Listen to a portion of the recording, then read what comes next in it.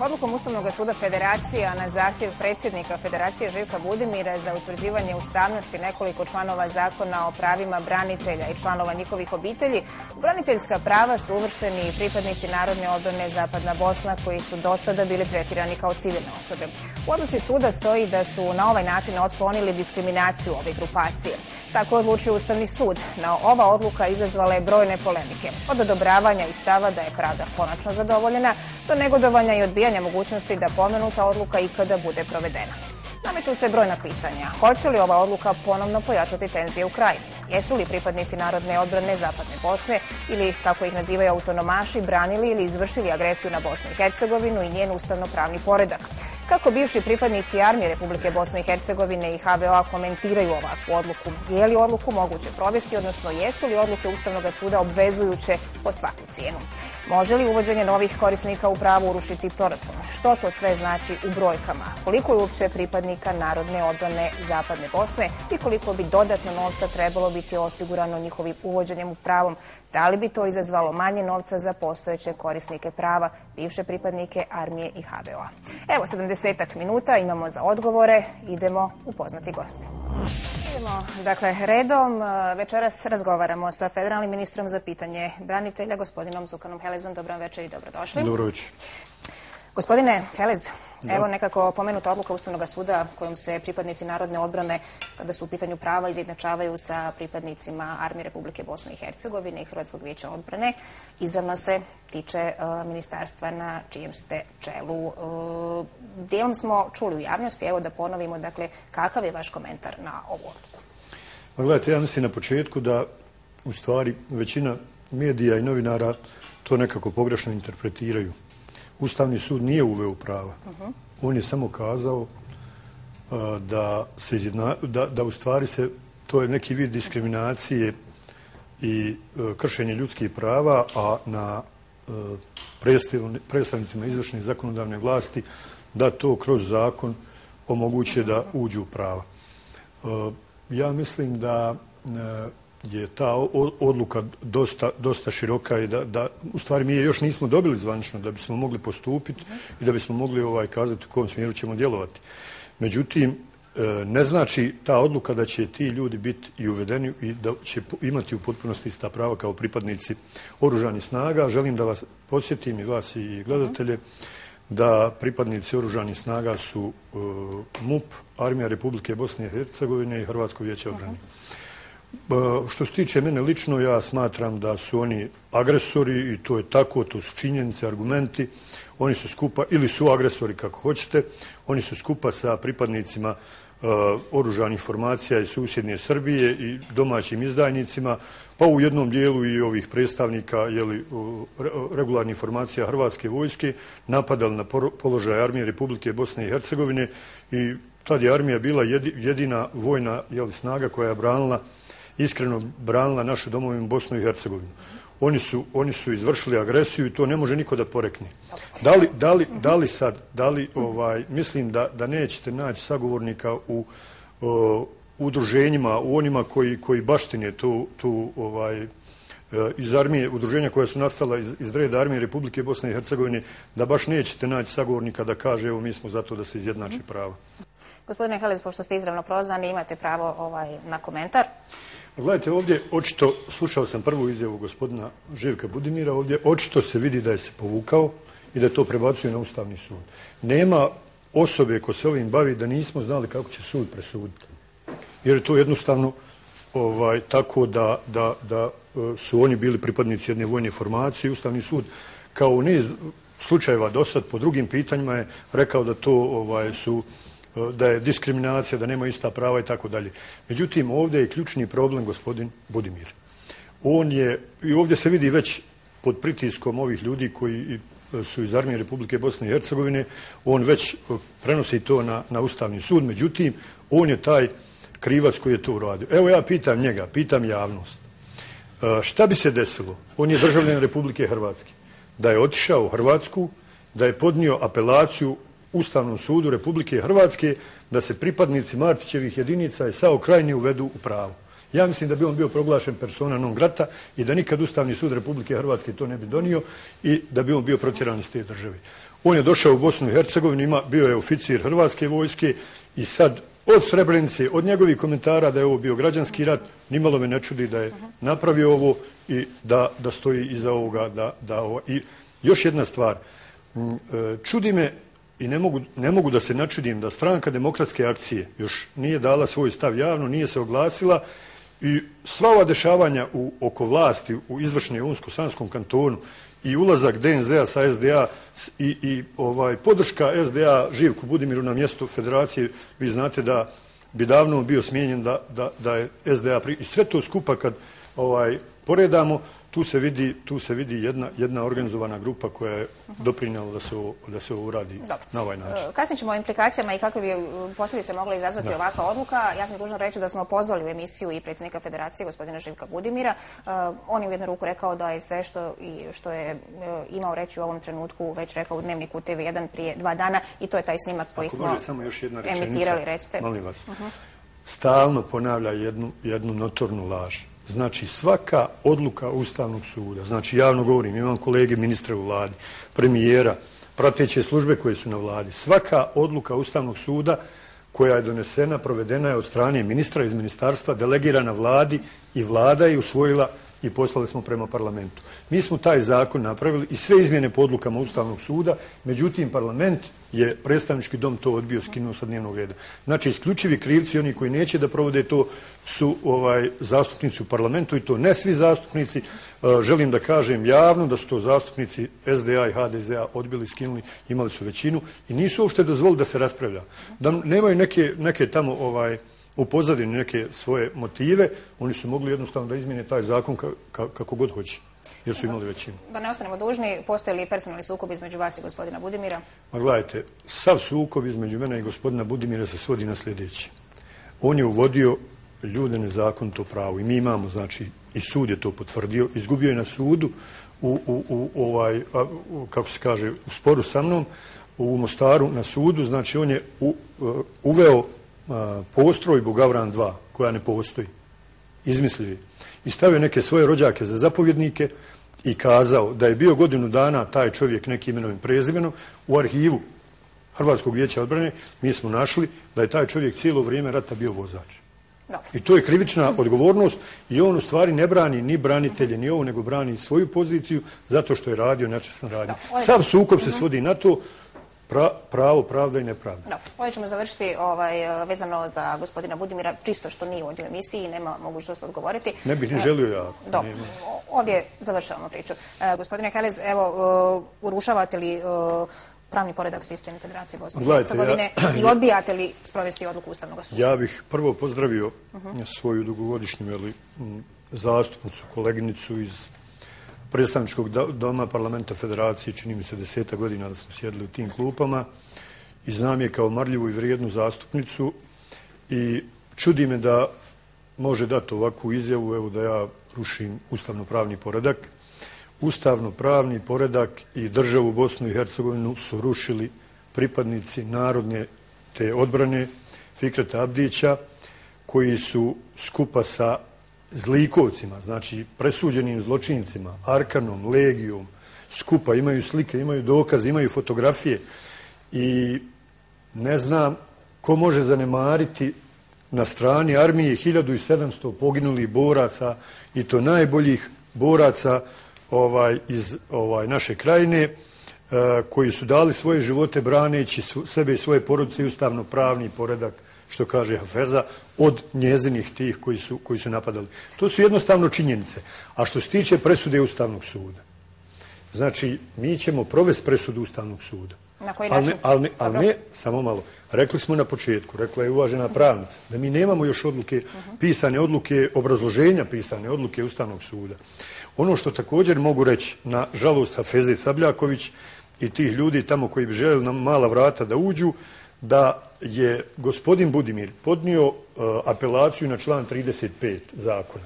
A taj član, Ustavni sud je kazao za taj član da je u skladu sa Ustavom. I vrlo bitno kod ove presude. U tom članu piše da e, ratni vojni invalidi se uvode do 26. E, ovaj, 2007. godine i to je kraj priče. Znači, oni koji su ratni vojni invalidi iz ovoga te odbrane, narodne demokratske odbrane ne mogu ući pravo. Dobro. Saš, može, može li, može li evo, budžet ovo podnijeti? Na koncu, mogu li se uopće uvoditi nove kategorije? Znamo stav MMF-a.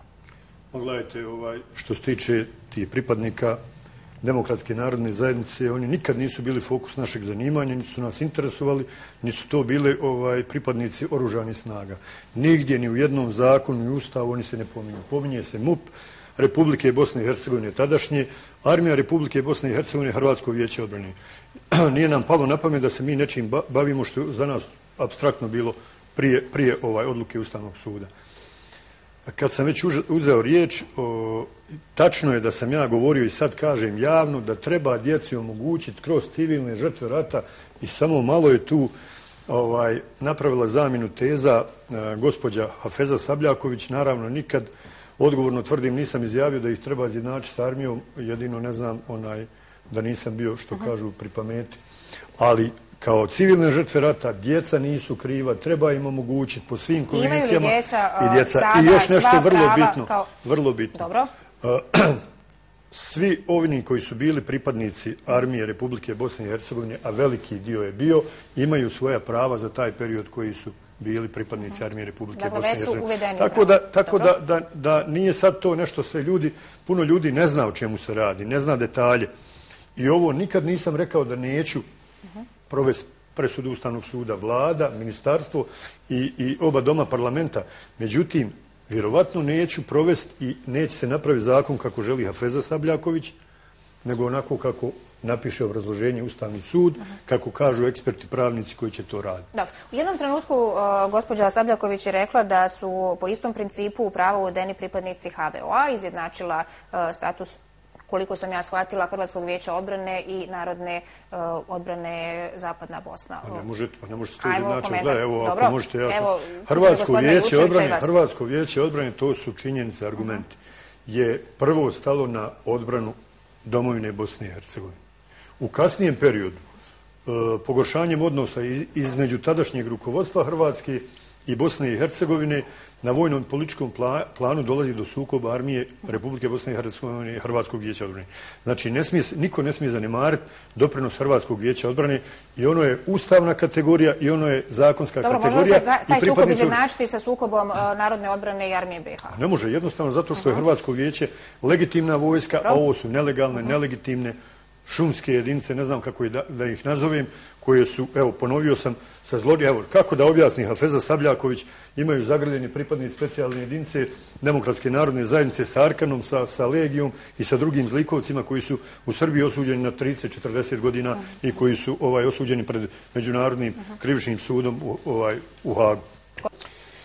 Ma gledajte, ni, stvarno mi nije jasno uvažena zaštitnica Hafeza Sabljaković da ne prati šta se dešava sa ovom populacijom e, oružanih, pripadnika oružanih snaga. Evo, svjedok mi je Aleh Hošić, Ivan Jučević, da je prvi put nakon, ne znam, možda od, od donošenja zakona, da je pr, dva puta povećane su prinadležnosti ratnih vojnih invalida i, i ovih šahidskih porodica u ukupnom iznosu negdje 5,7%.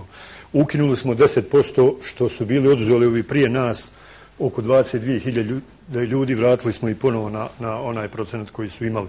Uveli smo na hiljade boraca, uvešćemo od prvog prvog, po prvi puta običnih boraca, a, osam godina prije od onog redovnog roka sa 65 navršenih godina, znači sa 57 godina, svake godine će ulaz po 2 do 3 hiljade mobilisanih boraca u, u penziju.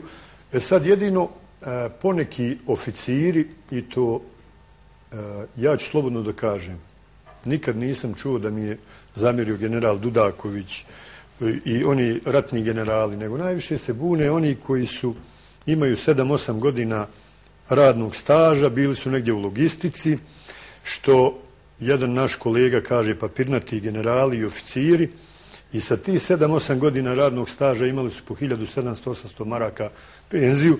Ljudi, ljekari, advokati, evo ne znam sve ko, koji imaju 40 godina radnog staža, bili su usput u, u ratu ovdje, pripadnici jeli, oružanih snaga imaju 600-700 maraka penziju. E to, to, to ja ne da, da, da, da me sti što sam uradio, nego se ponosim i sad gledajte, imate absurd da čovjek dođe koji ima pe, ili nema nikako radnog staža i kaže, sram vas bilo, ministra, vi ste meni spanjili penziju sa 1700 na 1200. Ja smatram i sada da mu je ta penzija visoka u odnosu na ove ljude i kategorije. Ovo je uvođenje reda, reforme, reforme jednostavno. To Hafeza ovaj, i njen, slovno da kažem, ljubimac Živko Budimir, ovaj, ne vide, neće da vide i ne, ne priznaju to je njihov Čućemo još gospođu, gospodine Kalez.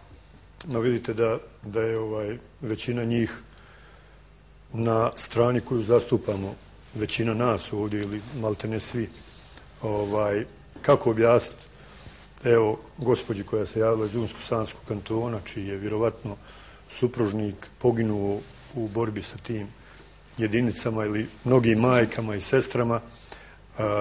Na drugoj strani čudi me izjava ili nije pratio šta mi govorimo gospodina Srđana Dezdarević, koga izuzetno cijenim. Znači, mi ne govorimo da se neće provesti presudu. Uh -huh. I niko ovdje, ja mislim, da su, ovdje imamo konsenzus da se presuda Ustavnog suda mora provesti kad se dobije obrazloženje. Međutim, ja ponavljam, ne može se provesti odluka Ustavnog suda kako želi Hafeza Sabljaković, kako želi, ne znam, neko ovaj treći po njegovim željama onako kako piše, a ja smatram da tu ima prostora... Dobro, kako mislite da, da ona želi, pa ćemo je pitati ili to to? Ko? Da se provede, gospođa Sabljaković. Pa ja mislim da bi ona da, da, onaj, da se tamo svi uvedu i da imaju i tri put više od ovih koji imaju. Uh -huh. A imaju, samo kad imaju isto, obzirom šta su radili, imaju 800 puta više. I više od toga. Gospođo, uh, gospodine Halez, i vi ste htjeli prokomentirati posljednji izjave gospođe uh, Sabljaković. Gledajte, evo, potpunosti razumijem frustracije gospođe Sabljaković. Bila je na toj strani. Ne mogu ja sad govoriti je li trebala ranije da razmišlja na koju stranu da se opredijeli. I te podjele koje koje su u krajini, mislim da se to treba prvo političkim putem riješiti neko pomirenje, pa onda ići na ovakve, ovakve odluke. Mislim da je to bio red poteza. Međutim, evo sama podjela DNZ-a na dva DNZ-a govori da i dalje u, glavama ljudi ima nekakvih tamo podjela, znači ni to nije nešto tamo jedinstveno. Želim samo za trenutak da me izvinu ovaj, gledalci da se vratim u taj period ratni. Svi ovdje znamo i ovi koji gledaju većina njih da nije bilo pripadnika narodne odbrane i da nisu bile vezane jedinice armije Republike Bosne i Hercegovine za te jedinice, za te linije, da bi Banja Luka bila oslobođena i mnoga područja još i danas bi bio ustavno pravni poredak ove države sasvim drugačije ne bismo imali ovaj glib i ovo blato koje, koje danas imamo. Dobro. E, prije završnih riječi, evo gospodine Helez, e, bilo jedno pitanje za vas vezano za jesu li izjednačene sva prava e, u Federaciji Bosne i Hercegovine, Zlatni Ljerni, Tuzla ili Zence i Sarajevo? Srednje bosanski uh mhm. -huh. kanton, to je vrlo bitno i želim da kažem, to je jedini kanton u kome nema zakona o dopunskim pravima uh -huh. a, a, boraca i tu je kriva tamo aktualna politika podijeljenost između dvije stranke koje drže to godinama a, i sa, samim tim oni nemaju, ako nema zakona o dopunskim pravima, nisu u istom položaju kao ovi, ovi u Sarajevu. Želim da ohrabrim ovoga čovjeka koji se javio, znači Zlatni Ljiljan, zastupnik tamo u Skupštini ispred SDP, p-a, Admir Škandro, e, je e, pripremio zakon sa udruženjima o dopunskim pravima boraca. Evo, neka dođu tamo na Skupštinu, neka vide ko će glasati, ko će biti za, a ko će biti protiv i da konačno i ovi ljudi tamo imaju ista prava kao i svi ostali na kraju krava i ustavni sud bi se možda trebao time baviti 15-18 godina posle rata da nemaju ista prava ovaj u federaciji svi ovi. Iz ovih javljanja se jasno vidi ovaj odnos odnos prema pripadnicima te demokratske narodne Dobro, zajednice. Dobro, to za završnu riječ, idemo... idemo ja sam mislio da je ovo završna riječ. Nije, po minutu za završnu riječ, nećete mi zamjeriti, ali zaista smo istrpili svoje vrijeme predviđeno za emisiju. Gledajte, ovaj, odluke Ustavnog suda se provode. Međutim, neka ovaj, gledateljka je dobro kazala. Imali smo, evo, pored ove presude, još jednu presudu, ja mislim, ovoga Ustavnog suda države Bosne i Hercegovine, gdje su okorili ratni zločinci po 34 godine pušteni. To ne može niko kazati da nije greška. To ni u jednoj državi se ne, ne bi desilo. Mi nekako u Bosni i Hercegovini taj Ustavni sud doživljavamo kao možda je krupna riječ da kažem kao bogove tamo da sjede. I tamo ljudi mogu biti, ne kažem da jesu, mogu biti nemoralni, nepošteni, loši pravnici. Mi smo imali ljude, čak ja mislim tamo da piše u zakonu da može sa godinu dana ovaj uh, iskustva postati član Ustavnog suda. Također, molim vas, molim vas, želim ovo da kažem. ti taj Ustavni sud nije aboliran od politike. Direktno moje dvoji kolega koji su bili sa mnom u parlamentu, članovi su stranke demokratske akcije danas bili, sutra bili imenovani Ustavni sud. Ispoštovat ćete odluku Ustavnog suda? Znači, odluku Ustavnog suda ćemo provesti onako kako bude napisano u presudi, ali nikako kako nekome odgovara pojedincu i neke želje ovih ili onih. Gospodine, vam lijepo za gostovanje, za gostovanje u emisiji.